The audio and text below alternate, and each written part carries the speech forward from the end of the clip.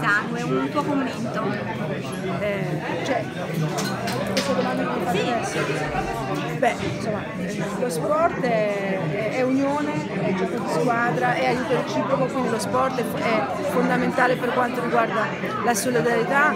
Eh, la- le mie ragazze, la squadra che alleno, eh, credo che manda proprio un messaggio di, di solidarietà, di, di come si ottengono i risultati facendo insieme e, credo che insomma, la donazione di sangue sia un atto di solidarietà molto importante per chi, ha bisogno e, e credo che insomma, tutti noi dobbiamo avere anche questa responsabilità. Grazie, grazie mille e in bocca al lupo.